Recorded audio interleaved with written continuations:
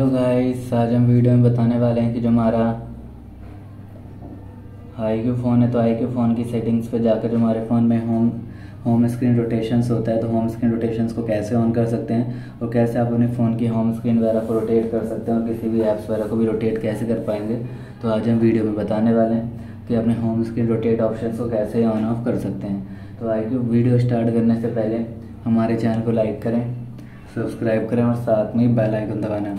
ना भूलें तो वीडियो स्टार्ट कर लेते हैं। तो आप देख सकते हैं कि जो फ़ोन के आइकन से हमारे फ़ोन में शो हो रहे हैं। तो आपको स्वाइप करना है और स्वाइप करते ही वाले आइकन से ओपन आएँगे फिर आपको सेटिंग्स पे जाना हो क्लिक करते ही फ़ोन की सेटिंग्स ओपन आएगी फिर हमारे फ़ोन में होम स्क्रीन लेआउट है। तो होम स्क्रीन लेआउट्स को आप कैसे चेंज कैसे सॉरी जो हमारे फ़ोन में होम स्क्रीन रोटेट रोटेशन है इसको कैसे ऑन ऑफ़ करेंगे? सिंपली फिर आपको यहाँ से जाना होगा शॉर्टकट्स एंड एक्सेसिबिलिटी पर।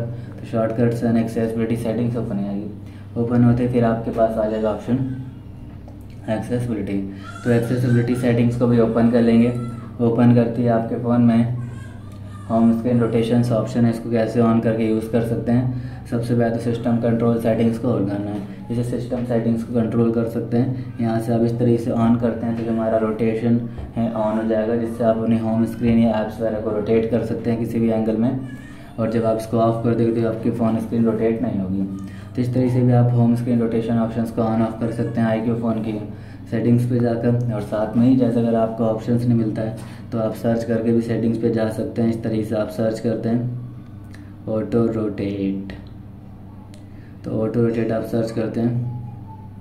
पर ऑप्शन नहीं आ रहे। जैसे आप सर्च कर लिया तो यहाँ पर ऑप्शन आ गया और इसको आप यहाँ से ऑन कर सकते हैं और ऑफ़ कर सकते हैं और इसका यूज़ भी कर सकते हैं आई क्यू फ़ोन में। तो आपको वीडियो चले तो लाइक सब्सक्राइब बेल आइकन दबा रहे ना